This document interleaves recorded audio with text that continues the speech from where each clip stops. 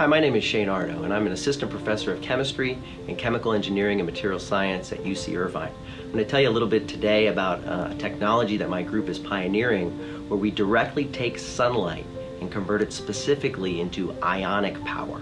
Different from a traditional solar cell that converts light into electronic power, by generating ionic power, we can directly drive the desalination of salt water.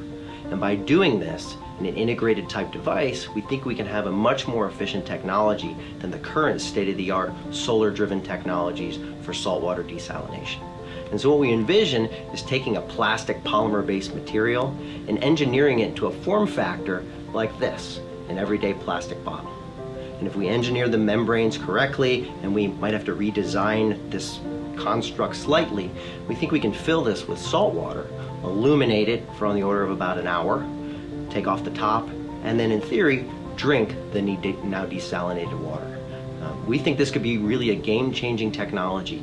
Uh, we're showing that it works a little bit, uh, but we really need to push this forward, and I think forward quickly, because A, we have a global problem with clean water, uh, you know, clean water shortages, and specifically in California, um, but in addition, this is exciting science that could lead to other things. And so we'd like to push this forward as quickly as possible.